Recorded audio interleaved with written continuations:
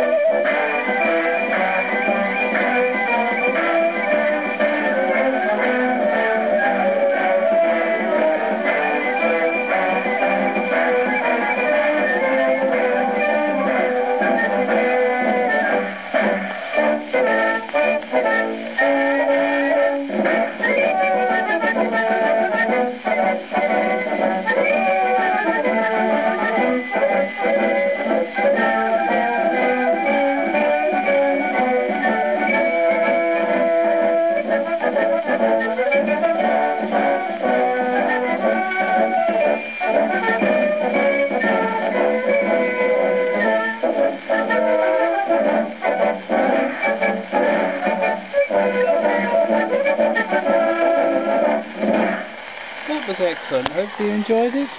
Thank you and goodbye.